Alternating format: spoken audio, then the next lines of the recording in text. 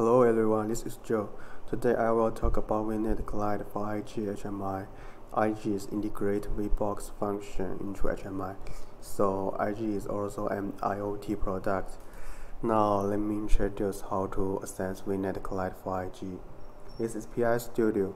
Firstly, we need to create a new project with IG model.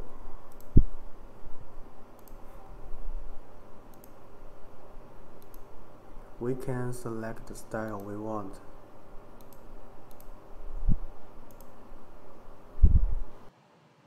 We can drag the object we want, such as bit switch and bit lamp.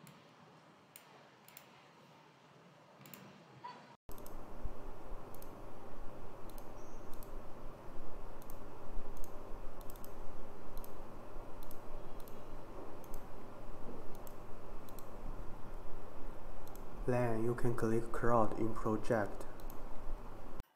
In Cloud, we can select the server and use default password or change it.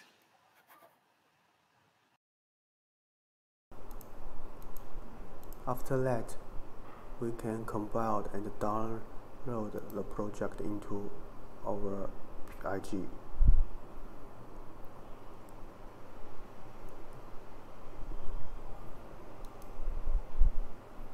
In download there is there is a machine code. We can get machine code here. And then click PC to HMI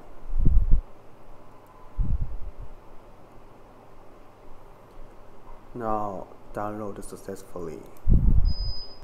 We can open our VNet client.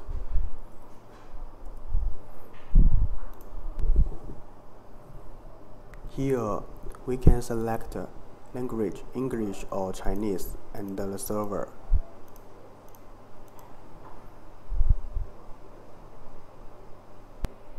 Bind IG into our account. Paste, paste the machine code in access key.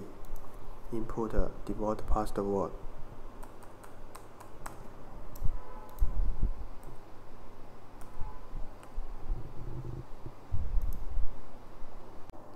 Now we finish all steps binding IG into VNet client and I change to another project to display.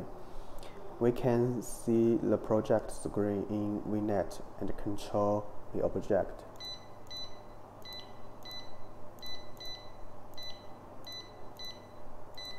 These are all content I showed today.